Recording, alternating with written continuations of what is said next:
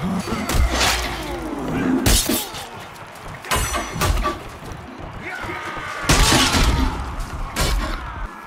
up!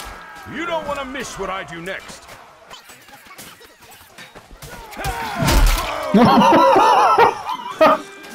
the throne?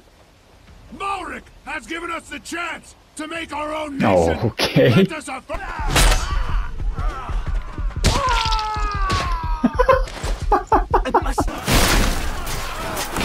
Är det som hände?